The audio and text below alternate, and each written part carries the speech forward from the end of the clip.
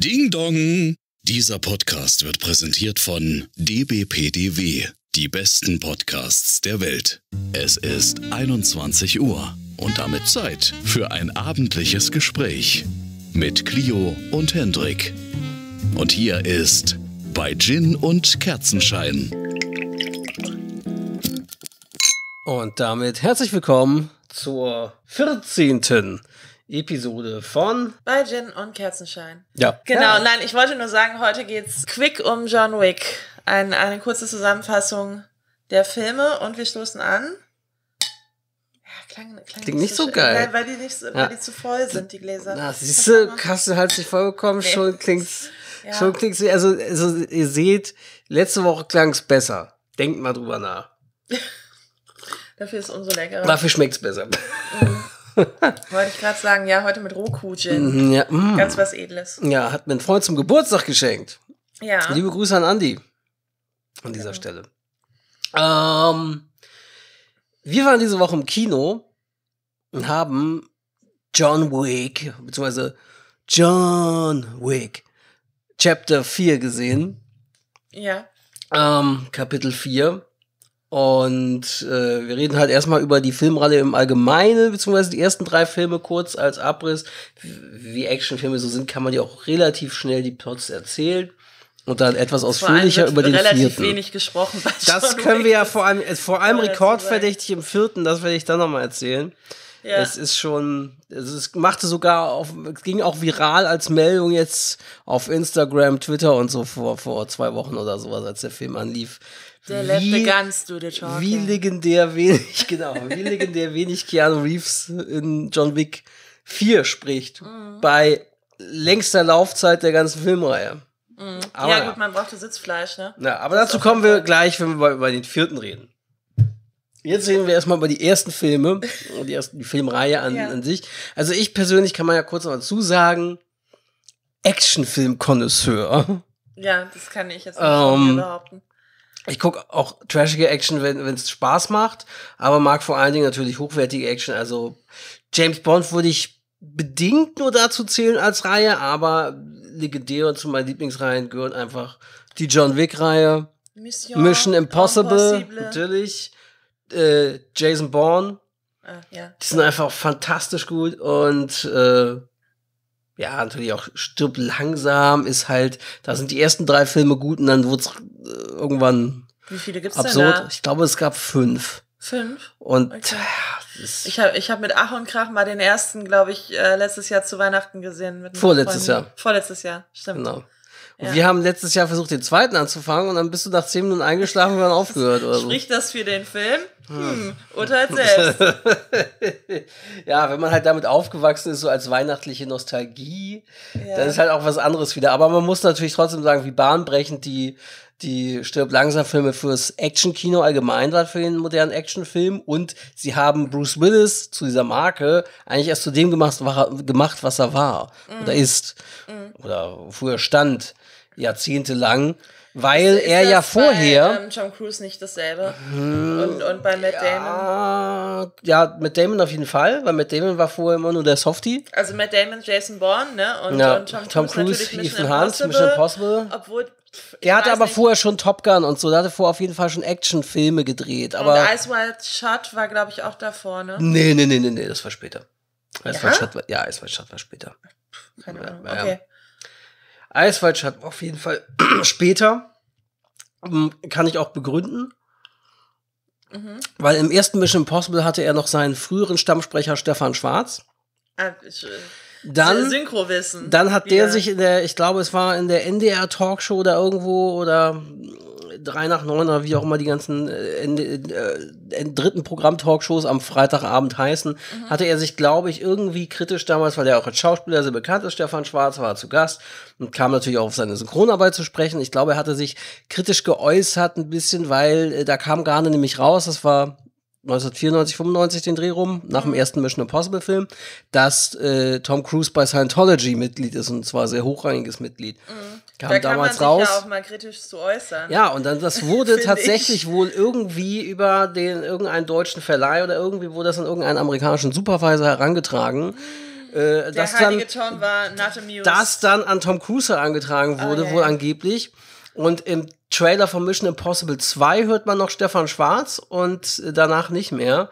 Und dann war es nämlich so, dass für Wild Chart hat dann noch Stanley Kubrick persönlich äh, die neue deutsche Stimme gecastet für Tom Cruise. Es war dann zwischendurch in einem anderen Film auch noch äh, jemand anders in Jerry Maguire, aber dort hat sich dann der neue Stabsprecher festgelegt sozusagen. Und dazu gehört auf jeden Fall John Wick-Reihe seit einigen Jahren zu meinen Favorites. Ich habe die ersten Filme auf jeden Fall alle schon, also die ersten bestimmt fünfmal gesehen, zweiten bestimmt schon Den ersten viermal, Fünfmal?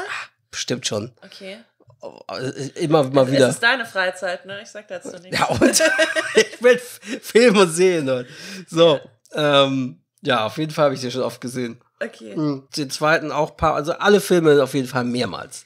Weil für mich ist es einfach, ich kaufe Keanu Reeves das einfach ab. Ich weiß, dass der selber Martial Arts Fähigkeiten besitzt und auch wie sie die Stunts, wie sie das choreografieren, ich kaufe das dem so einfach ab und finde die Stunts auch unglaublich gut. Die Kämpfe sind so gut choreografiert. Ähm, und deswegen, ja, für mich ist das auf jeden Fall High Class. Also, ja. Wenn ich Sieht dann, so aus, als würde es wehtun. und es gibt viele, ich die es, gibt viele, die es gerne Ja. nachmachen, wie Chris Hemsworth als Tyler Rake Extraction auf Netflix, Mhm. wo wir demnächst äh, den zweiten Teil synchronisieren. Nee, wir haben ja sogar schon, ich habe den schon fertig synchronisiert, wir nehmen jetzt nur noch Finals auf. Mhm. Äh, und ähm, da siehst du einfach, ja, das wollen sie, da wollen sie gerne wie John Wick sein. Sie lassen Chris Hemsworth durch irgendwelche im ersten Teil indischen Vorstädte, im zweiten Teil Ostblock, Russland, ich weiß es nicht, äh, Vorstädte, ähm, sich durch die Gegend ballern. Mhm. Aber ich kaufe denen das einfach nicht so ab. Der ist zwar auch ein Muskelpaket und alles, aber es wirkt nicht so geil wie bei John Wick. Es ist einfach nochmal anders. Jedenfalls, John Wick, Filmreihe, fangen wir mal kurz an. Den ersten, da kannst, hast du ja auch noch eine ganz gute Erinnerung. Man kann mal einmal überschlagen, Ja. wie es ist. Es dreht sich um einen Auftragskiller. Ne? Willst du Genau. ein bisschen mal den ersten Ich- ich- versuchen ich- zu versuche zusammenzufassen? zu genau. Ja, also ich bin jetzt, äh, kann man wirklich nicht sagen, dass ich Action-Connoisseur bin, aber ich Ist ja auch ähm, egal, man fand, kann es ja trotzdem unterhaltsam finden. genau, ähm, ich, ich fand den, ähm, habe das trotzdem jetzt ganz gerne geguckt, jetzt tatsächlich auch die ganze Reihe. Mhm. Ähm, den ersten habe ich gesehen vor ungefähr einem Jahr, würde ich sagen. Ist ja gar nicht so lange her. Ja. Nö, ist nicht so lange her. Einfach mal aus Langeweile ähm, gedacht, ich will mal wissen, ähm, was es mit dem Hype auf sich hat. Und dann habe ich das mal äh, geguckt. Genau, also, äh, John Wick ist ein äh, Auftragskiller in Rente, kann man sagen. Und ähm, hat ähm, oder ist am Trauern, weil seine, die große Liebe, Liebe seines Lebens, Helen, ähm, an einer nicht näher definierten Krankheit anscheinend ähm, verstarb vor kurzem. Und wir steigen ein damit, dass er in seinem schicken ähm, Haus am Trauern ist und ähm, ein, ein Paket bekommt. Ich weiß nicht, steigt man damit ein? Ich glaube schon. Ja. Nee, es geht, nee, es geht damit los. Es geht so mit so einem Vorklapp los. Mhm. Du siehst, wie er sich aus dem Auto quält. Er fällt aus dem Auto, ist so halb am Verrecken, guckt sich auf dem Handy eine Szene mit seiner Frau an, anscheinend. da? Und ist Ja? ja, und ist am Ah, Verrecken. okay. Und dann kommt 24 Stunden eher oder 48 Stunden eher. So diese typische Einblendung. Und dann wird eigentlich Ah, erst okay. erzählt, wie es zu dieser Szene kommt. Okay, okay. Nee, das wusste ich jetzt nicht mehr tatsächlich. Ähm, auf jeden Fall in, auf der, ähm, genau, dann ist es nicht die Jetzt-Ebene, dann ist es eben Ja, aber 24 egal. Stunden eher. Also auf der langen erzählten Ebene ähm, bekommt er eben ähm, von einer Spedition ein Paket geliefert und das Paket hat einen lebendigen Inhalt, nämlich eine süße kleine äh, Beagle-Welpen-Dame. Dame? Dame? Daisy. Daisy. Es steht Daisy auch auf dem, Echt? auf dem Ich hab's gar nicht gesehen. Ich dachte, die hat gar keinen Namen. Na, ich habe auch gerade noch mal kurz ins, ins äh, John Wick Fandom Wiki Okay, reingelesen. interessant, weil ich glaube, im Film da ist mir das, das auch. nicht. Doch, doch, doch, genau. Also auf jeden Fall ist das ähm, der Beginn und was als nächstes passiert, ist, dass er, glaube ich, zufällig an der Tanke ähm, so möchte gern Gangster oder auch Mhm. Naja, durchaus richtige Gangster, Aber dass dass er auf die Paket, trifft. warte doch erstmal, dass dieses Paket von seiner verstorbenen Frau ist, die ihm das als Geschenk so, hinterlässt, hast nicht du, glaube ich, erwähnt? gar nicht erwähnt. Genau, weil seine Okay. Frau, die an, ich glaube, Krebs gestorben ist oder irgendeiner todbringenden Krankheit, Ja. Die hat ihm das vermacht, weil sie ihm Genau. eigentlich Liebe bringen wollte und dass Na, sie, sie ihm nochmal ein nettes, dass er Hilfe beim, beim Trauern hat. Genau, Ja. er hinterlässt was zum Liebhaben, ne? hat ihm einen Brief, glaube ich, eine, oder eine kleine Postkarte oder sowas hinterlassen, wo eben draufsteht, ähm, dass er sich, äh, ja, dass er wieder lieben soll oder Ja. dass er sich ablenken soll. Und ähm, genau, das ist natürlich Das, ein ganz das wäre wichtiger quasi Punkt der Anfang so. dass ne? Genau. ähm, die Hündin Daisy von, ähm, von seiner verstorbenen Frau ihm vermacht wurde. Genau. Dann kommt es irgendwie, ich spüre das jetzt so ein bisschen runter, weil ich denke, die meisten, die diese Folge hören, die kennen das auch. Die Vielleicht- wissen vielleicht es wahrscheinlich nicht. besser als ich, die das jetzt Du schlecht hast aber auch mal gesagt, wir sollen nicht davon ausgehen, dass Hörer alles verstehen und alles wissen. Ja Deswegen- gut, aber wer sich jetzt eine Folge du über die ganze John Wick-Reihe anhört, Ja, ich ich habe ganz, ich, wie gesagt, ich habe, ich kann es mal kurz erwähnen, ich habe ja einen Akt X Podcast, ihr könnt gerne mal reinhören. Äh, Uns haben Hörerinnen und Hörer geschrieben, die Anfang 20 sind, die jetzt auf Disney Plus inzwischen gucken, aber die am Anfang und vor, vor zwei Jahren oder so, als es noch nicht auf Disney Plus war, Mhm. geschrieben haben, sie haben noch nie eine Folge Akt X gesehen, hören trotzdem unseren Podcast gerne. Ja, okay, Es okay. ist scheißegal, die Leute hören einen gerne labern und dann sollte man die natürlich trotzdem mit einbinden. Dann ist das ein berechtigter Einwand, okay.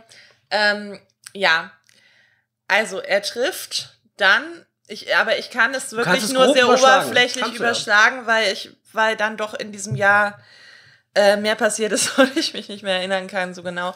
Ähm, also er trifft an, an der Tanke auf ein paar Gangster. Was ich aber noch weiß, ist, dass ähm, der Gangster, mit dem er sich da, ähm, der sich hauptsächlich mit ihm anlegt, so muss man es sagen, so rum wird ein Schuh draus, ähm, ist, ähm, wird gespielt von Alfie Allen, der Bruder von der Sängerin Lily Allen und ähm, ist der Sohn in der, Se äh, in der Filmreihe von einem wichtigeren Gangster. Genau, gespielt von auch Von bekannt. Allen, habe ich doch gerade Nein, gesagt. gespielt Ach so, von der andere? Sein Vater, Michael Nyquist, Mhm. der aus der ursprünglichen Verblendung-Reihe Genau. äh, die Hauptrolle gespielt hat. Tarasso schon heißen die beiden. ist, Vego ja. Tarasso ist der Vater und Josef Tarasso ist jetzt der Sohn. Tarasso, und ja, irgend, genau. irgendwie ähm, fühlt der sich eben von John Wick und, und seinem äh, tollen Auto, es muss ja ein ganz, ganz tolles Auto anscheinend Ja. sein, äh, was John Wick fährt und besitzt.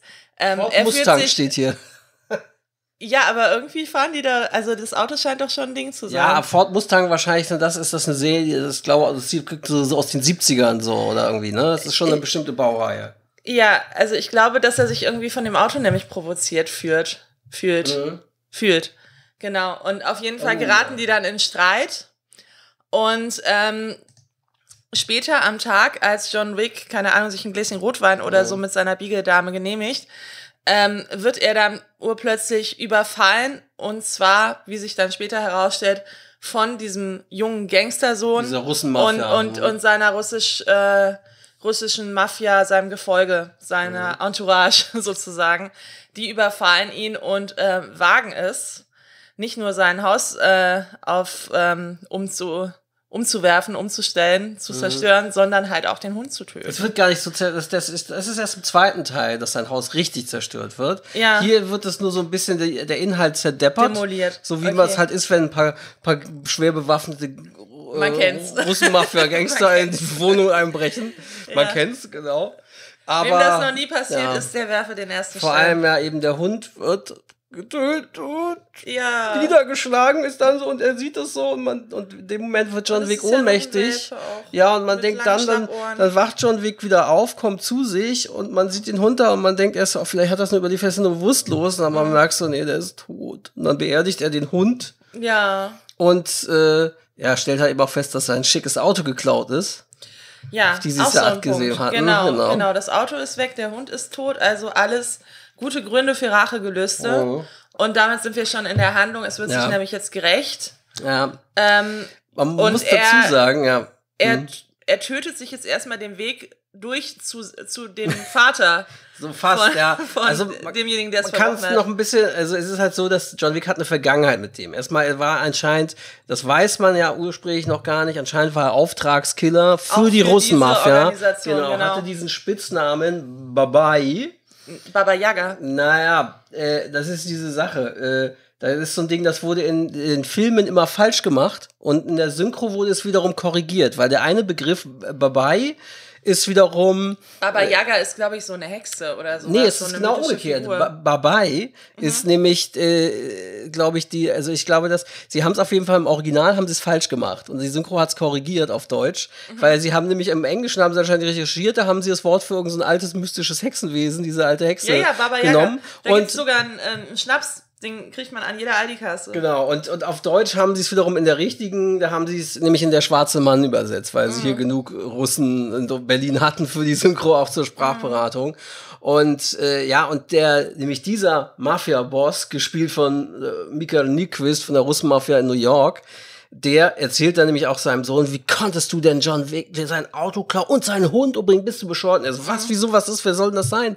So, und dann nach dem Motto, das ganze Imperium, das wir hier haben, all unser Reichtum, beruht eigentlich nur auf dem, was John Wick für uns damals getan hat. Und all unser Reichtum nur, weil John Wick bestimmte Sachen für uns erledigt hat. Und äh, er ist ausgestiegen, weil er mit Also seiner Frau ein friedliches Leben führen wollte, hat seine Auftragskillerarbeit beerdigt, Ja, die gestorben ist, und dann klaust du ihm das und, und bringst seinen Hund um und alles. Anscheinend wurde ihm von diesem Viga Tarasso eine sogenannte unmögliche Aufgabe gestellt, Mhm. Ähm, damit er aussteigen durfte und mit dieser Frau fünf Jahre bevor sie dann gestorben ist, Genau. dieses ruhige Leben zu führen. Und diese unmögliche Aufgabe hat John Wick aber gemeistert, die Ja. natürlich deswegen unmögliche Aufgabe hieß. Ähm, weil jeder dachte, das ist nicht zu schaffen. Mhm. Es war nämlich die Aufgabe, dass jeder der lebendigen Feinde Mhm. von ähm, diesem russischen Gangster-Mafia-Boss, Vigo Mhm. Tarasso, ähm, dass alle seine Feinde beseitigt werden. Ähm, was natürlich ähm, einige sind in solchen Kontexten. Und ähm, John Wick hat es wohl geschafft, auch noch in einer Nacht, Ja. war glaube ich noch ein Zusatz, man muss das dann innerhalb Ja, von ja. 24 Stunden alle Feinde äh, beseitigen. Ähm, genau, das ist ihm damals gelungen und das wäre die Vorgeschichte.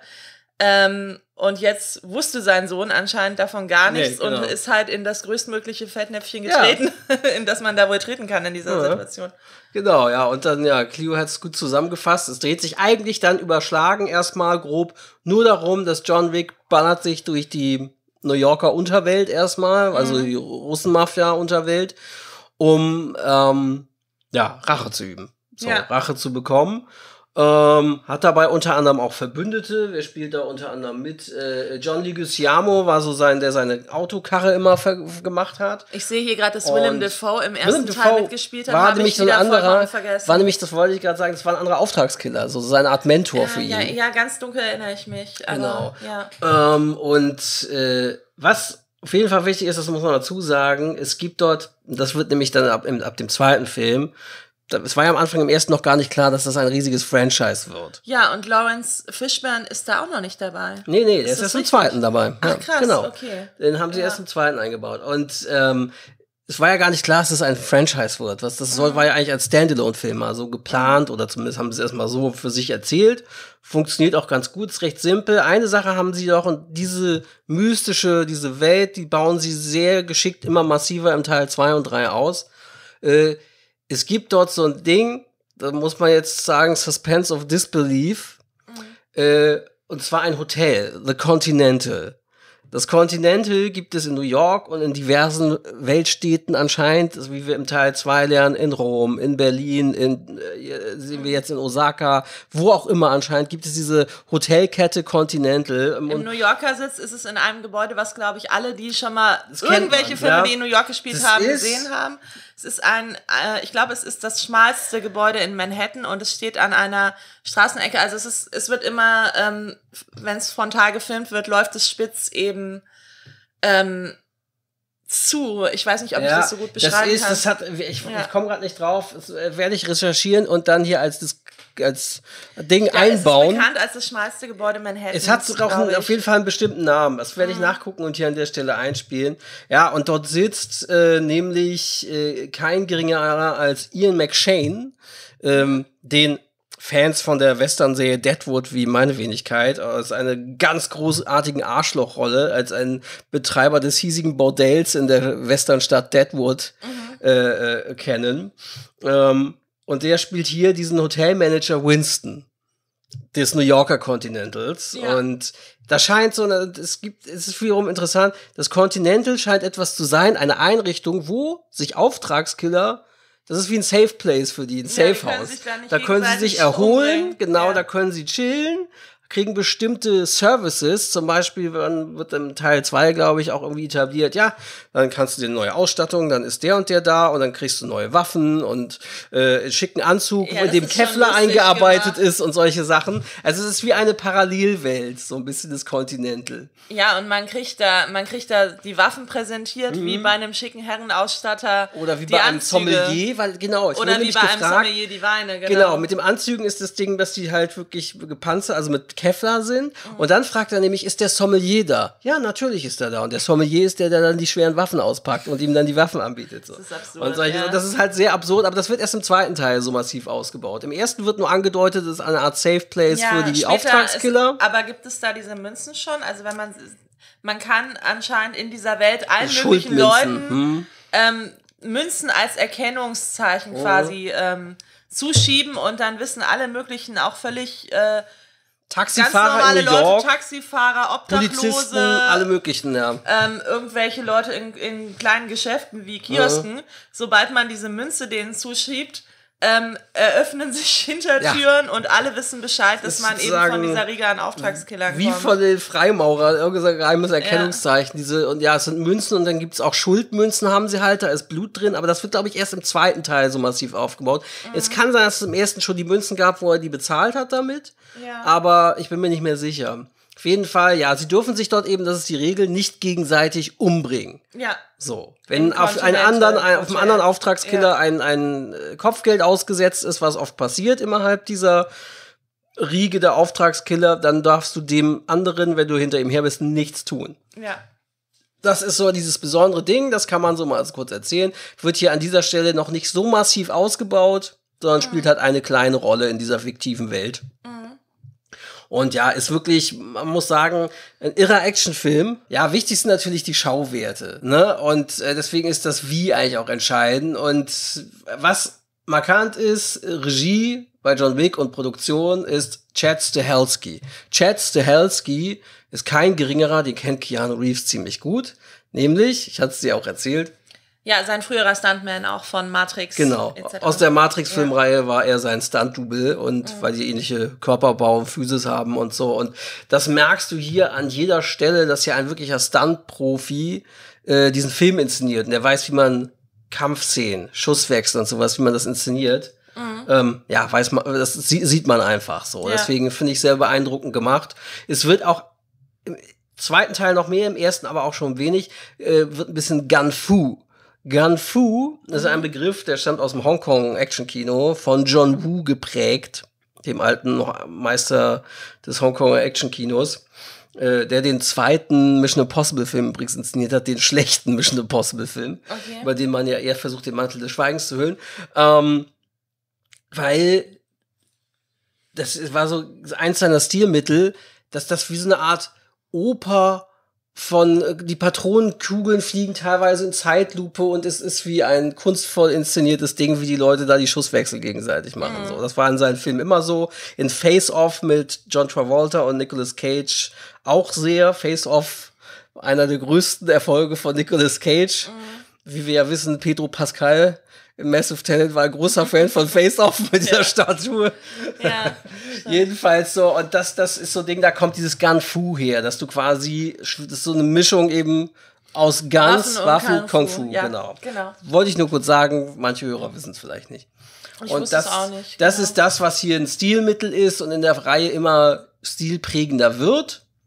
Im ersten ein wenig und dann steigert sich das alles immer mehr. Mhm. Und ja, der zweite Teil, wie gesagt, wir machen es jetzt mal, skippen es alles relativ kurz, erweitert diese Welt massiv mit den Auftragskillern und über dieses Continental und sowas. Genau. Das, da, siehst du plötzlich imaginäre, irgendwelche Telefonfräulein, so wirkt das wie aus den 50ern, die auf uralten PCs oder Commodores oder sowas mit teilweise mit Telefon mit Wählscheibe sitzen und dann so ein Kopfgeld oder jemanden erhängen, wenn jemand aus der Gilde ausgestoßen wird, der Genau, es gibt Auftragskiller diese. Zentrale mit diesen hübschen jungen Frauen, die dann äh, durchsagen und auf so Tafeln schreiben, Ja. wenn sich das Kopfgeld erhöht. Und, ähm, Und das ist auch per Hand genau. Mit Tafeln und Ja, so. ja, genau. Wirklich alles wie Retrofuturistisch, so richtig oldschool-mäßig. Und das scheint es aber auch in jeder Stadt der Welt zu geben, irgendwie, wie man jetzt in weiteren Teilen herausfindet. Mhm.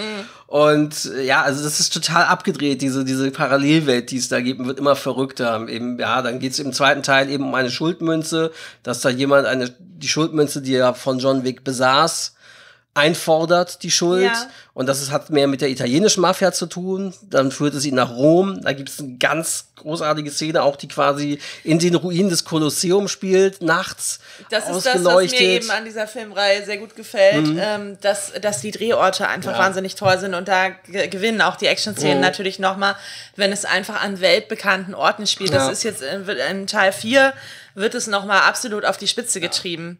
Kann man nur schon mal sagen, ja. Ja, also ich hätte nicht gedacht, dass es in Teil 4 so viele Orte gibt auch. Ich dachte, die beschränken sich auf ein, zwei Orte. Ja, ja. Und dann denkst du, was, Da wo gehen sind wir sie gleich jetzt? nochmal näher drauf genau. ein, aber das ist äh, Das wirklich hat, hat er natürlich auch von, einfach. natürlich Vorbilder waren ja immer schon James Bond, Mission Impossible haben das natürlich vorgemacht, auch Jason Bourne. Suche dir internationale Drehorte, installiere die Mhm. Ja, oder auch bei. Da Vinci Code ist es ja, Ja. immer so, dass du dann, dass du dann den im Vatikanstadt und ähm, Kolosseum oder, oder das Louvre, die Louvre-Pyramide, Mhm. also dass du immer diese sehr bekannten Plätze auch hast, aber da eben ohne, ja, mit anderen Action-Szenen, sagen Mhm. wir mal so. Ja. Genau.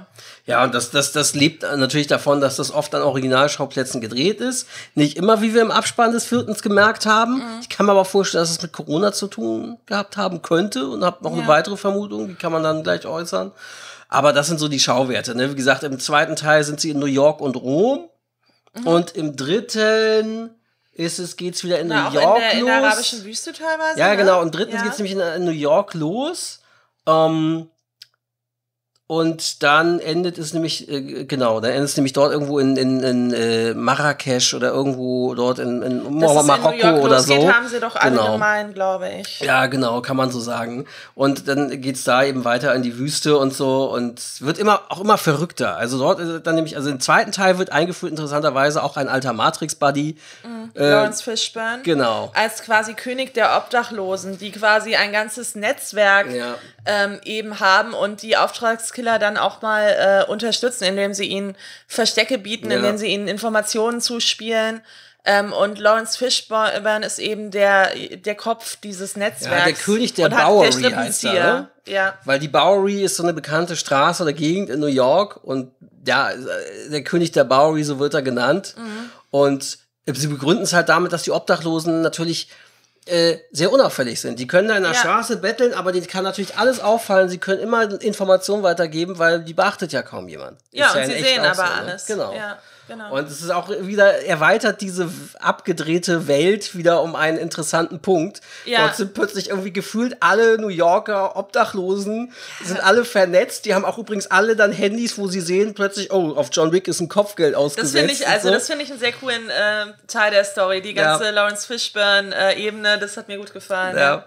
Und es ist so witzig, wie sie das auch machen. Plötzlich piepen da, du siehst dann immer, wird Kopfgeld ausgeschrieben auf John Wick und dann siehst du plötzlich um einen rum auch, auch Passanten, die normal im Café sitzen, eine Frau im Central Park mit einem Baby im Kinderwagen, piep, piep, piep. Alle haben sie ihr komisches, eher retromäßiges Handy, wo sie Ja. sehen, oh, John Wick, und da, da läuft er, da läuft John Wick schnell hinterher, wir können das Kopfgeld Ja, das kriegen. ist halt auch, also dafür, dass sie ja dann doch so geheim sein wollen, wissen es dann irgendwie doch irgendwelche Irgendwie random Leute. 80 Prozent Also- von New York scheinen mit dieser Gilde zu tun zu haben. Ja, also es es ist schon ist, äh, sehr abgedreht. Genau, genau. Aber das gehört eben dazu, Suspense of Disbelief. Du musst diese Welt einfach jetzt mal so kaufen, wie sie ist. Ja. Und dann ist es halt sehr unterhaltsam, muss ich man, sagen. man muss sich darauf einlassen. Das ist nicht man, realistisch Man darf nicht zu sehr Sinne, mit ja. Logik um die Ecke kommen. es ist kein authentischer Spionage-Polit-Thriller, der das auf einer realistischen Ebene erzählt. Die Kämpfe sind zwar eben realistisch umgesetzt und, und krass inszeniert, aber es ist äh, höchstgradig es ist halt eine abgedreht. eigene Welt. Es guckt ja auch keiner Harry Potter mit äh,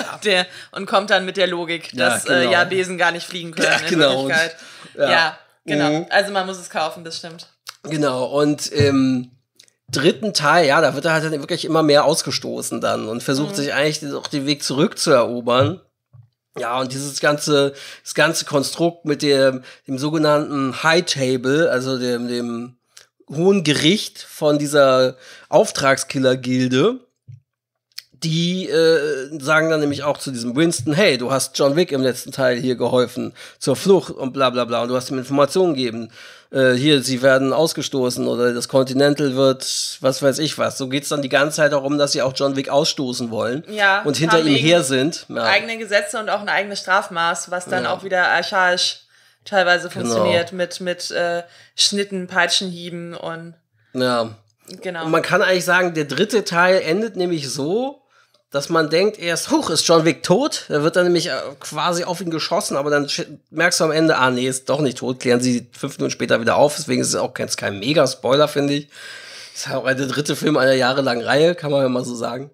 Und das ist die Ausgangslage, wo unser vierter Film jetzt losgeht. Kapitel 4 ja, ne, weil man sieht quasi, er wird erstmal, wird er da von diesen Obdachlosen wieder hochgeholt von Lawrence Fishburne, dann siehst du, wie er trainiert. Es geht los, da haben wir uns alle auch erschrocken, waren mit ein paar Freunden im Kino. ja, mit diesem Faustschlag. genau, Oh Gott, ja. du siehst dieses typische Kung-Fu-mäßige, dieses Martial Arts, wie, du, wie er trainiert und sein Faust immer wieder gegen Ja. so einen Balken, das schon blutig geboxt ist, schlägt. Ja, aber jetzt, wenn wir bei einem Film sind, der gerade im Kino läuft, müssen wir wirklich wieder aufpassen, Da müssen wir was Spoiler aufpassen. angeht. Jedenfalls, also aber ich so würde eher los. auf einer ähm, auf, auf einer oberflächlicheren Ebene erzählen, so ungefähr. Also was, was man eben grob sagen kann über, über die Neuverfilmung, oder Neuverfilmung ist ja Quatsch, über den, die neueste, Sequel, genau. über das Sequel.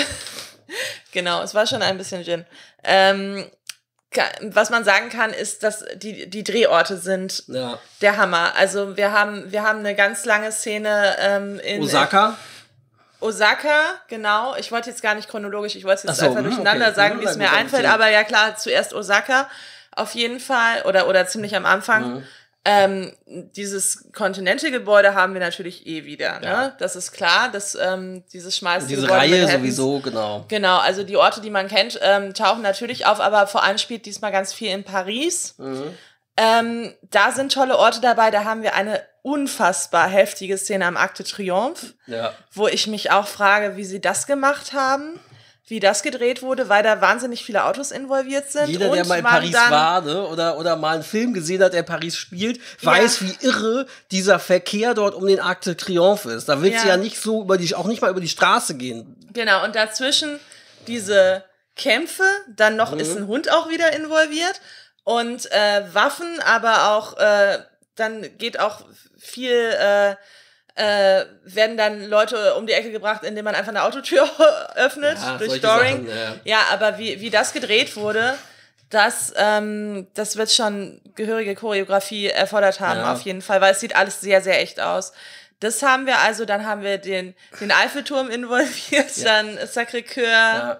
Das ist schon groß. Und in Berlin haben wir eben, ähm, Berlin, was auch auftaucht, haben wir die Museumsinsel, wo dann plötzlich ein, ein Club drin Auf der. Museumsinsel ist, der dort nicht wirklich Himmel ist. Hölle. Aber der Sieht sieht sehr fancy aus, mit Wasserfall und Ich, sonst ich wie würde da mehreren auf jeden Ebenen. Fall gerne mal tanzen Sah gehen, krass aber es gibt aus. ihn leider so nicht. Also Ja. Vorbild war wohl das Berghain. Aber sie haben nämlich, das kanntest du, ich wusste es nicht, kannte den nicht, erzähl mal. Äh, genau, also Sven Marquardt spielt mit. Äh, Weiß nicht, wer das für ist, diejenigen, die nicht wissen, wer das ist, es ist halt einfach der, der Türsteher vom Berghain.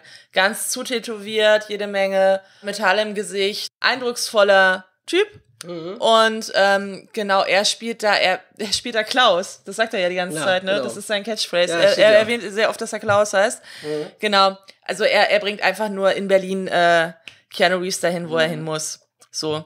Ähm, fand ich aber lustig, dass sie den da involviert haben, auf Ja, jeden Fall. Sie haben ganz viele Gags. Also generell gibt's da ja. so ein Stunt-Casting sowieso, muss man sagen, was so ein paar bekan bekannte Schauspieler angeht. Ähm, Clancy Brown, den kennen viele auch, der spielt hier so einen ja, Vorboten von diesem Hohen Gericht, der dann am Ende auch über so ein Duell wacht. Mhm. Und ja, auch die, was ich, was mich beeindruckt hat, war diese Szene in Osaka. Ähm, fantastisch, wirklich, sie führen dort ein. Gesagt, das ist tolle- noch weiter am Anfang des Films, genau. Genau, es gibt da so einen Charakter Koji, der anscheinend ein Verbündeter ist, der leitet das Continental von Osaka. Ich fand, der wirkte wie so ein äh, japanischer Vertrauenslehrer Ja, mit seinem Pferdeschwanz also und Hiro- seiner Hiroyuki quadratischen Brille. Sanada, den kennen auf jeden Fall viele, der ist auch relativ bekannter Schauspieler. Und Mhm. ähm, aber noch bekannter ist, dort wird dann nämlich im selben Atemzug eine Art John Wick aus Asien eingeführt. Nämlich äh, Kane, äh, gespielt von, okay. nee, ein, ein männlicher. Ach so. Kane. Diese Figur ist neu und nämlich wird gespielt von keinem geringeren als Donnie Yen. Donnie Yen ist so ein, also einer der größten Martial Arts Stars, der die Ip Man-Reihe oder Ip Man-Reihe äh, gespielt hat. Ähm, und auch viele andere Sachen. Also Donnie Yen ist wirklich sehr bekannt unter Genre-Fans, unter Martial Arts-Fans. Und diese, diese Idee, ich fand es fantastisch, diese Idee, einen blinden Auftragsmörder, einen blinden Attentäter einzubauen und wie der kämpft, obwohl er blind ist, finde ich genial. Also das Ja. verrate ich jetzt nicht, aber es ist fantastisch auch. Toll choreografierte Sachen. Und der ist eigentlich wieder, ja, asiatische John Wick so ein bisschen wird er eingeführt. Er wird nämlich auch ähnlich reingezogen in diese Story Naja, wie John. Und sie, unterhalten sich auch und bezeichnen sich ja gegenseitig als Brüder. Freunde, obwohl Brüder sie auch, dann ja. aufeinander angesetzt sind. Also man merkt, sie haben eine Backstory. Ja, er ist schon sein, ähm, sein Gegensch... Also ja, der, wie eine andere Version, ne? Ja, er ist Aus hier ein- eben der angesetzt, aber du siehst, wie sie sich respektieren. Eigentlich Ja. ja eine tiefe Freundschaft. Die sagen ja sogar Bruder zueinander, Brother. Mhm. So, also die kennen sich wirklich und eigentlich hätte er das wohl nie gemacht, wenn er nicht dazu gezwungen wäre, genau wie John Wick im ersten Teil. So fast. Ja. Und ähm, ich finde das fantastisch, dass so jeder, der Eastern mag, der Hongkong Action Kino mag, und ein bisschen Martial Arts Filme schon gesehen hat, wird diese Szene in Osaka, diese ganzen Szenen lieben, weil das so toll inszeniert ist und eine riesige ja, Hommage oder Reminiszenz an Eastern und das Hongkong Action Kino sind. Das ist so toll gefilmt und choreografiert. Ich fand's mega gut. Also Da Ja. meintest du bei einer Szene, die in einem ähm, alten Gebäude in Paris spielt, Paris. das ist sogar, ähm, nee, in Osaka meinst du, wenn dann? war das Oder in was? Hm. Osaka? War das nicht in Paris? Eine, ähm, eine Szene, eine Action-Szene, wo man eine Draufsicht auf ein Gebäude Ach so, hat. das, kam- das kam später, genau. Genau. Das war in Paris später, genau. Ähm, Mhm. Wo du meintest, das sei Ja. aber eine Hommage an asiatisches äh, Spiel. Nee, oder? ein, ein, ein Amer- amerikanisches Spiel. Aber Ach das so. Spiel heißt Hong Kong Massacre. Ist Ah, erst vor ein okay. paar Jahren Gut, erschienen. also, ja. Ich glaube so drei, vier Jahre alt. Und es ist halt so auch eben wiederum dieses Spiel auch von John Woo inspiriert.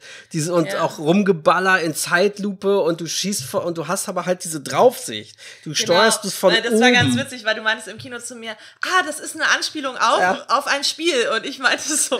Cluedo? Bei Cluedo sieht man ja auch den Grundriss von oben. also es war, es war gar nicht so dumm, aber es, Nee. du meintest halt nicht Cluedo. Ja, ja, nee. Du meintest halt ein Computerspiel, also das, äh, wo dann auch die Kampfszenen natürlich Ja. zugepasst haben, was jetzt, ja. Weil es war exakt so inszeniert. Hong Kong Massacre, ich werde mal in die Shownotes ein Video zu von dem Tra Teaser, der eine Minute geht, auf, auf YouTube packen. Dann kann man das sehen, was ich meine. Weil das, wie das inszeniert ist mit den, Mhm.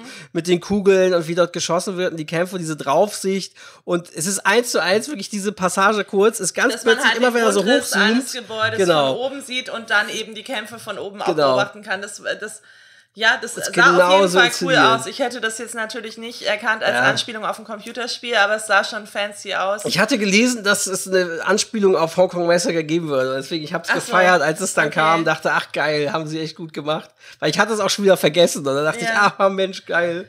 Was Und mir- richtig cool. Ja, was mir auch sehr gut gefallen hat, war der Bösewicht, verkörpert von Bill Skarsgård, Ja, ja, der wirklich ähm, 1A angezogen ist. Sehr, sehr teuer, sehr schick und einfach sehr, sehr bösewichtig äh, agiert. Also die ganze, äh, das ganze arrogante Gehabe und dann die, die Manieren, die feinen und dabei aber diese Arschlochhaftigkeit und dass man nicht besonders sympathisch rüberkommt. Und das, ähm, das hat er schon sehr gut gespielt und sich auch dabei Zeit gelassen, das auszukosten. Das gut sehr gefallen. suffisant hat das gespielt, ne? Ja, so ja, ein bisschen, ne? ja. Und man muss ja sagen, sie nehmen es dort beim Casting nicht so genau, was die Nationalitäten angeht, weil Michael Nykü oder Mikael Nyquist, der leider schon verstorben ist, im ersten Teil hat ja nicht umsonst, der ist, was ist das, schwedischer Schauspieler, dänischer Schauspieler, auf jeden Fall hat der ja den Boss der Russenmafia gespielt.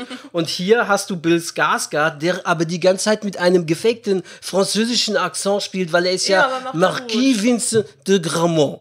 So, ne? Marquis, ja, der Ja, genau, Marquis. der Marquis. Genau, es war, glaube ich, den Großteil immer nur von dem Marquis die Rede. Ne? Ja, ja, ja. Und, und auch, ähm, auch wie sie ihn dann zeigen, wie er seine Freizeit verbringt, wenn er dann eingeblendet wird und einfach nur ein. Telefonat führt oder Genau. so. Aber dann hat er halt mal einen riesigen, wunderschönen Opernsaal für sich alleine. Palast. Offensichtlich für sich alleine halt mal für einen Abend gemietet, wo dann eine Tänzerin sich abstrampeln darf, damit er bei seinem äh, Tee oder Whisky Genau. Da ganz alleine das Opernhaus halt für Ja. sich hat. Also das waren dann auch so äh, Kleinigkeiten, die dann nochmal Also geholfen haben, diesen Charakter so zu hassen. Dieser Palastsaal, wo er da irgendwie auch agiert hat, der sah aus, ich dachte, haben die das in Versailles gedreht oder wo Stimmt, zum das Geier? war wieder eine Weil das war Szene so prunkvoll, ne? Ja, Ja, so das, krass. Das, das sah wirklich aus wie Versailles. Also würde einen nicht wundern, ne? Wie gesagt, sie haben halt auch Berlin Museumsinsel gedreht und solche Ja. Sachen und staffieren das Wo dann immer anders kein aus. Club drin ist. Ja, schade. Ja. Und in Rom, glaube ich, du kommst auch nicht dort so sehr in, ins Kolosseum und die Ruinen rein und hast dort eine riesige kulturelle Veranstaltung mit Konzert. Das ist leider, glaube ich, in echt auch nicht so, wo dann die Mafia, die römische Mafia da hat irgendwie. Ich glaube nicht, dass das so echt so ist. Aber, Wahrscheinlich ist wenig, was uns da aber es ist echt. toll. Es ist Ja, toll es- inszeniert. Es macht Spaß zuzugucken. Mhm. Auf jeden Fall ist das ein Teil davon, der dafür sorgt, das äh, sind halt diese äh, grandiosen Drehorte. Und um wieder zurück zu den Schauspielern Mhm. zu kommen, die nächste Rolle, die mir sehr gut gefallen hat, die dieses mit diesem Film eingeführt wurde, war ein sogenannter Mr. Nobody, nennt er sich selber. Oder anscheinend wird auch erwähnt der Name Tracker. Ich glaube, das heißt nur, weil der wahrscheinlich Tracker, weil er Weil auf er der Spur halt- ist, ja, ne? weil und weil er die ganze Keanu Zeit mit so einem Reeves, Scharfschützengewehr und das sieht so aus wie so Ja. Survival-Klamotten, die er anhat. Das Genau. wirkt die ganze Zeit so, als käme er gerade vom Camping. Ja, Ausflug, ja, er hat ne? halt wirklich so einen Pferdenleser oder sowas, ne? Er hat einen Genau. Rucksack auf und er hat einen Hund dabei. Genau. Der Hund wiederum könnte ein Link sein Zum dritten zu, Film, ne? Zum dritten Film, wo Halle Berry zwei Stimmt. dieser Hunde hat, also dieser Hunderasse. Er hat auch diese Art Hund dabei. Ich habe versucht, es rauszufinden, habe ich, ist mir nicht gelungen. Ähm, genau, er hat einen Hund, der ähm, aufs Wort hört und bei ihm anfangs noch sehr kuschelig eingeführt Ja. wird. Der Hund kann aber auch ganz anders und er hört wirklich sehr gut aufs Wort. Also diese Rolle hat mir sehr gut gefallen, auch dass er mit seinem Rucksack unterwegs ist und ähm, dass er auch, ja, da will ich jetzt nicht spoilern, aber er ist eben auch, er wirkt sehr auf Augenhöhe mit John Wick. Ja, und es- Ähnlich wie Kane. Wir werden ja auch gleich sagen, welche Spin-offs aktuell alle in der Mache sind oder gerade diskutiert werden. Und ich glaube, er ist auch ein Teil davon. Ja, Andere Figur, die auch noch Martial Arts Fans auf jeden Fall zu schätzen wissen. Und mich hat sie hier erinnert stark an ähm, den Pinguin, gespielt von Colin Farrell mit einer absurden Maske und Fatsuit in The Batman, den man dort nicht als Colin Farrell erkannt hat. Ja. Und eigentlich war es hier dasselbe, weil ich dachte so, den kennst du doch, wer ist denn das? Das ist doch ein bekannter Action, äh, Martial Arts Darsteller, wer ist denn das? Das ist, das ist Scott Atkins. Und dann war das Scott Atkins in Berlin als, äh, als Killer Harkan. Anscheinend, ich weiß nicht, ob türkischstämmig sollte es vielleicht sein. Harkan? Klingt ja erstmal so, ne? Vielleicht. Ja. Jedenfalls äh, anscheinend Betreiber von diesem Club, der auf der Museumsinsel ist in Berlin.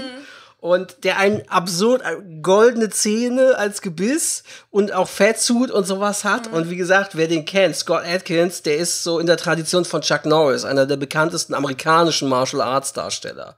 Und ähm, ja hat ähnlich halt großes äh, Action-Kino gemacht. zu, Ja. das so zu spielen, diese Rolle.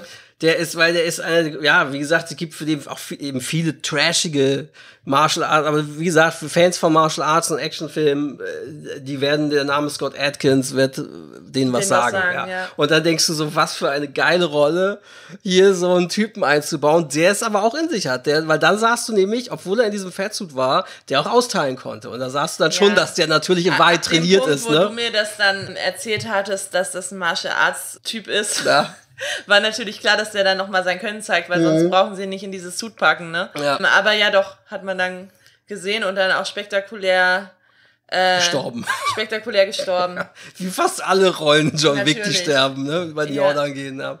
Genau. Ja, man muss auch sagen, äh, witzigerweise gab es so jetzt auch im Internet die Meldung, während des Drehs von hier Kapitel 4 hat Keanu Reeves an seine Stuntleute, das werden ja nicht hunderte gewesen sein, aber es gab hunderte Gegner und dafür dann wahrscheinlich, keine Ahnung, 20 Stuntleute. Und diese Stunt-Crew, den hat er regelmäßig jeden Tag oder immer wenn sie zu tun hatten am Set neue T-Shirts bedruckt gegeben, wo ihre Nummer drauf stand, wie oft sie jetzt schon gestorben sind. Ja. Das fand ich auch sehr geil, dieses, diese Idee. Und ja, finde ich, ja, fantastisch. Also generell muss man sagen, wieder toll inszeniert. Am Ende ist es eben in Paris Sacré-Cœur auch absurd, diese Szene, wie er dann versuchen muss, fast am Ende seiner Kräfte die Treppen zum Sacré-Cœur hochzukommen, die Ja. nämlich angeblich 222 Treppenstufen sein sollen. Ja, das wird dann auch so sein, das Ja. glaube ich schon. Also da, da werden sie schon akkurat das Mhm. erzählt haben. Und Auch das ist wie so ein Videospiel, dass von der Seite random immer neue Gegner auftauchen, ne? Ja, So, stimmt. äh, echt. Ja, also man, man, man darf halt die ganze Serie nicht, äh, die ganze Filmreihe nicht so ernst nehmen. Ich, ich bin jetzt niemand, der groß Action oft guckt oder äh, sich, sich groß darauf freut oder diese Reihen, da bin ich halt ziemlich äh, un, unbewandert drin. Aber trotzdem, wenn man sich darauf einlässt, Ja. ist das halt qualitativ sehr hochwertig mit, den, ja. mit, mit diesen tollen Drehorten. Es macht schon Spaß zu gucken, muss ich Tolle sagen. Drehorte, tolle Darsteller, muss man sagen. Ja. Genial choreografierte Action-Szenen und Reminiszenzen ans Hongkong-Kino, Eastern, aber auch eben an Western-mäßig, diese Duellszene und so. Ja, und es ist eben auch, das fand ich eben, macht daran auch Spaß, dass es halt selbstironisch ist. Es ist selbstironisch, dass sie dann ähm, so Western-Melodien Mhm. kurz nur andeuten oder ähm, dass das so wenig geredet wird und das, was geredet wird, ist natürlich, sind dann auch die coolsten, Ja. coolsten äh, Sätze, ganz ähm, nur das Nötigste wird gesprochen und das ist aber alles mit, mit so einer Selbstironie. Also die haben jetzt auch nicht den Anspruch, irgendwas anderes darzustellen. Was man auch sagen, kurz noch ähm, von dieser Gilde der Auftragskiller, diese Telefonfräulein, das hatten wir ja schon erwähnt, was auch zeigt, diese Serie nimmt auch nicht ernst, dass man, das muss einem klar sein, dass das alles natürlich nur absurd ist, weil diese Telefonfräulein in Paris sind sie untergebracht, angeblich auf einer Stufe des Eiffelturms. Ja, auf so wo einer dann, Zwischenebene. wo sie dann angeblich auch eine dort so eine Art Radiomoderatorin ist, die dann von dort aus senden in Paris und einem Radiosender den aktuellen Stand, wo sich denn jetzt John Wick neueste, befindet, äh, ne? Das neueste Kopfgeld äh, Genau. durch, durchgeben. Und man erfährt er gar nicht, ist. ich weiß gar nicht, ob das hier in der Liste steht, aber man erfährt gar nicht, welche Darstellerin es ist. Da siehst du eine schwarze Darstellerin, du siehst immer nur ihren Mund, wenn Ja. sie redet und wie Ihre sie moderiert. weißen Zähne, die vollen Genau. Lippen und das äh, Nasenpiercing. Und dann spielt sie wieder einen neuen Song an, erzählt wieder dazu was und wo jetzt gerade John Wick gesichtet wurde in Paris und so weiter. Und du weißt aber nicht, es wird auch nicht komplett gezeigt. Du siehst nur ihren Mund, das ganze Ja. Film. Man weiß nicht, wer das ist. Ähm, vielleicht wird es Ja, nochmal irgendeine Bedeutung rausfinden. haben. Aber fand ich, Ja. weil die hatte eine sehr markante Stimme und ich dachte, vielleicht ist das irgendeine bekannte schwarze Sängerin oder so, weil die da wegen moderieren oder so. Ich dachte, ich dachte auf jeden Fall, das wirkt wieder wie so ein Gag, dass Ja, das in Wirklichkeit jemand. Bekanntes ist. Ja, und sie es nur nicht gezeigt haben, ja.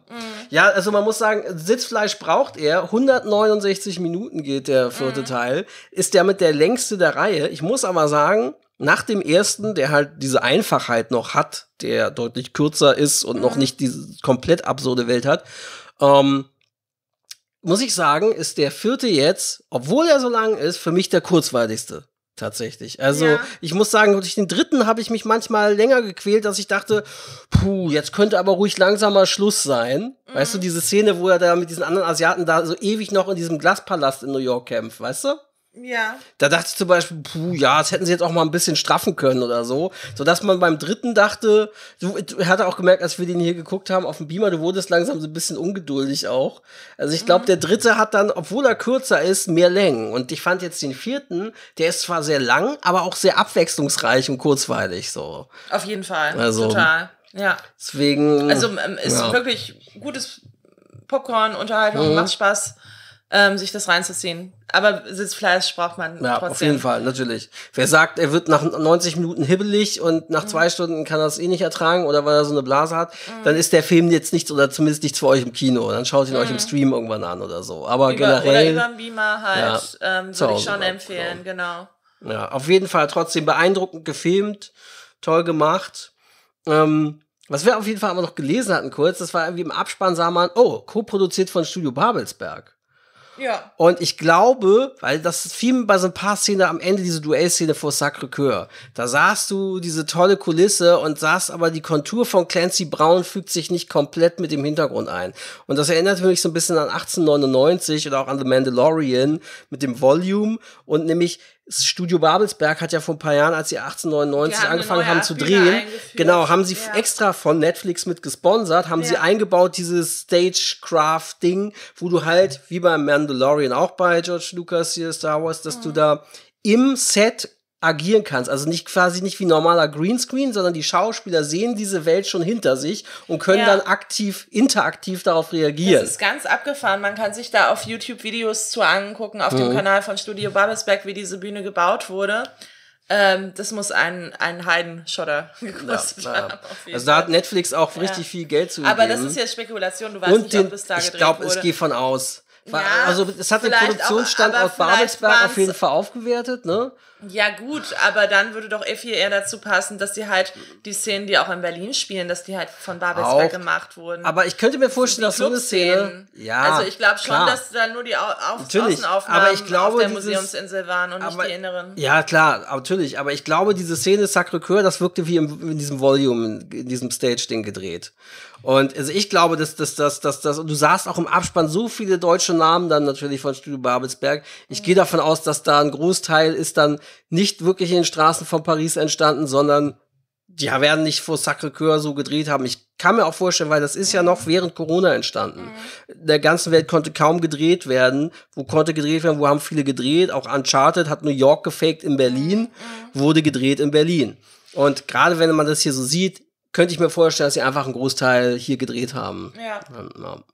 Naja, Kann aber sein. toller Film, kann man nur empfehlen, auf jeden Fall. Wer Action mag, auf jeden Fall. Ja. Wer sagt, er kann gar nichts mit Action und, und Ballereien ich glaube, anfangen, wer Action ist- mag, der lässt sich das ja. auch nicht entgehen, weil Ja. das ist ja, wenn ich das richtig verstehe, als Nichtkenner neben Mission Impossible und Born, die Actionreihe mittlerweile schlechthin. Genau, jetzt wollten wir noch ganz kurz über die Spin-offs reden, über die so Spin-offs geplant reden. Vielleicht ne? machst du mal, Genau, jetzt fahr ähm, zeigst du mir runter. mal, wo wir Äh, zeitlich sind. so. Ja, das ist doch egal. Nee, das möchte Passt ich doch. aber mal gerade wissen. Passt genau, okay. Ähm, äh, war nicht irgendwo hier das Ding mit Spin-offs? Das war hier in dem Artikel, glaube Also ne? ich hatte jetzt ein kurzes YouTube-Video noch gesehen über zwei mögliches, oder was heißt mögliche, über zwei Spin-offs, die auf jeden Ja. Fall gemacht werden. Ähm, das eine heißt The Continental, wird vom Peacock gemacht. Da gab es wohl zwischendurch irgendwelche Querelen, Genau. weil das ursprünglich von einem anderen Streamingdienst gemacht werden sollte oder Naja, von einem anderen ist, Sender. Es ist weiterhin Lionsgate. Nee, ja. Und Lionsgate, äh, die hatten einen eigenen Streamingdienst, nämlich Stars. Der ist, Genau. oder beziehungsweise äh, Stars war ein Streamingdienst in Europa und das war auch deren Pay-TV-Sender. Und der ist jetzt komplett, hat sich der auch hier in Deutschland auch zurückgezogen, hat, hieß kurz noch Lionsgate Plus als Rebranding und wurde dann wieder rückabgewickelt. Mhm. Und ursprünglich sollte das schon Januar 2018, sollte für Stars diese Serie Continental entwickelt werden, die in der Welt von John Wick spielt, ne, mit den Hotels. Genau, es geht eben um die, um die Welt dieses Hotels und was wir eben am Anfang der Folge erwähnt mit den, mit den Münzen, die dann schon verraten, dass man, ähm, dass man eben zu, zu dieser Gilde der Auftragskiller Mhm. gehört.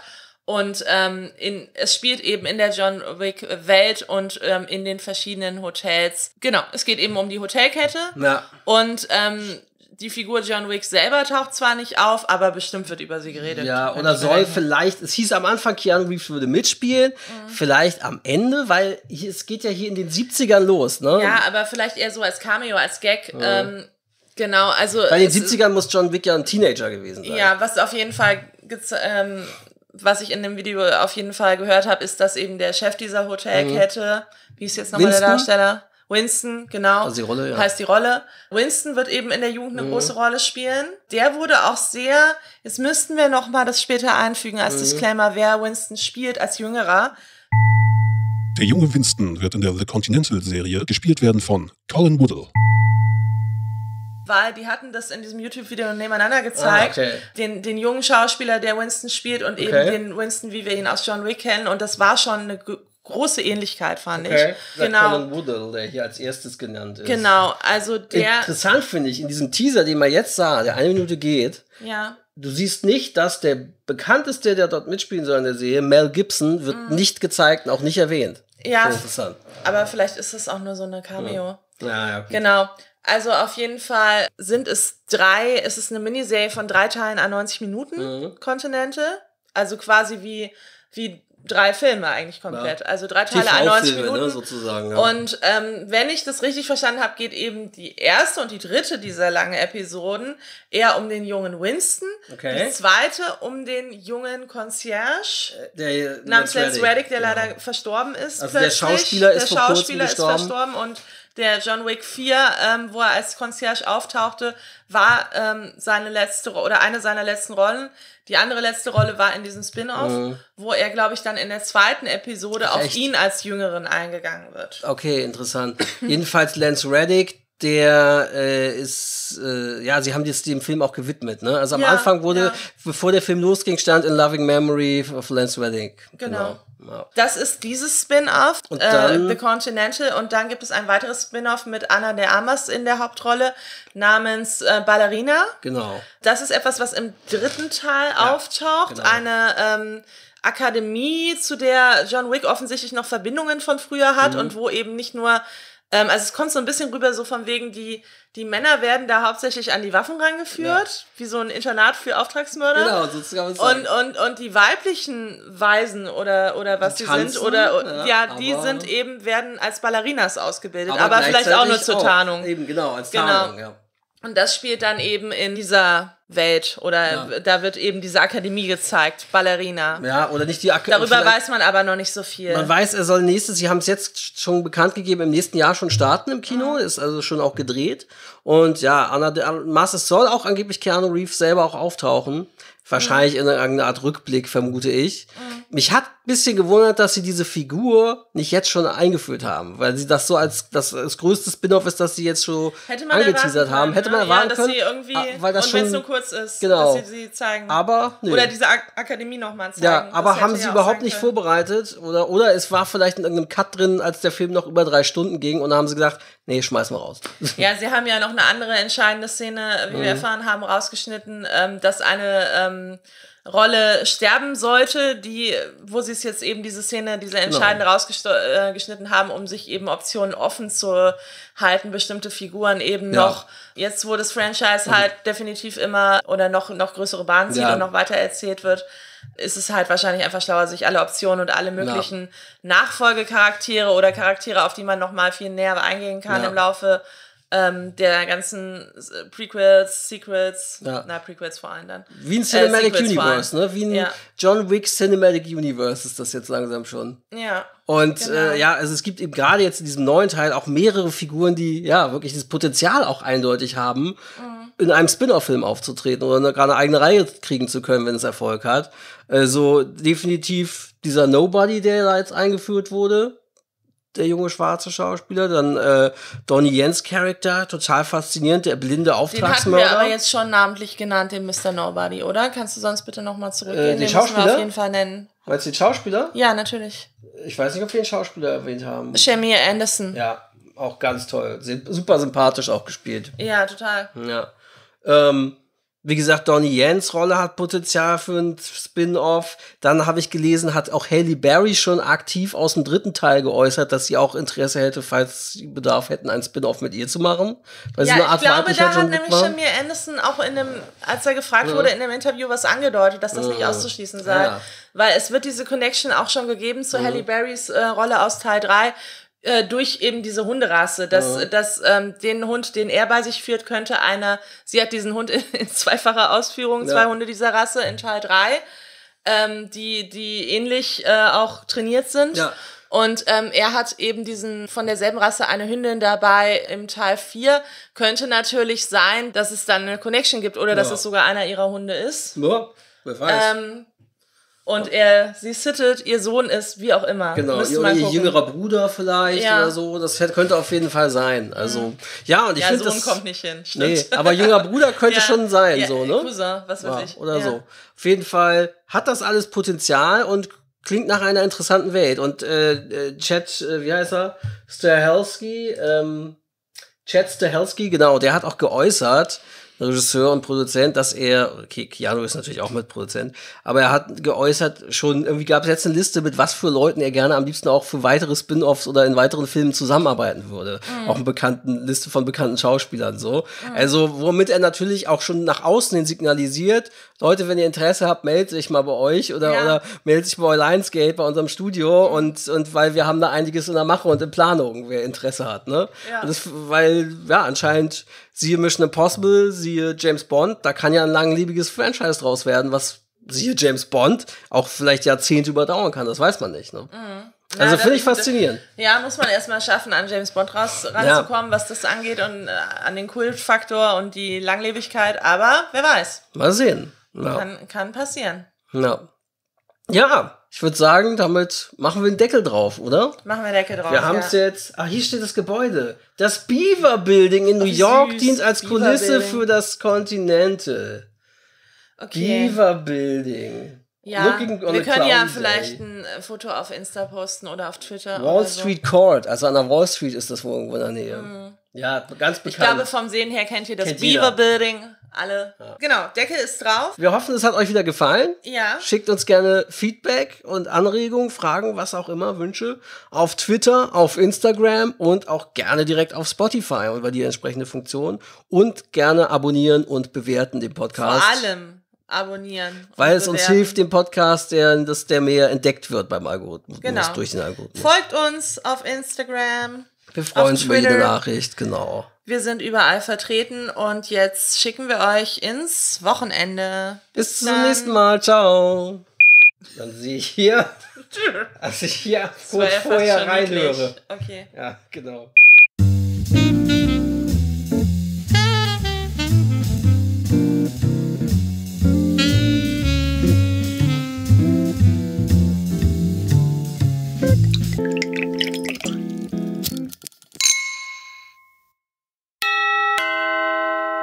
Dieser Podcast ist Teil des Podcast-Netzwerks dbpdw, die besten Podcasts der Welt.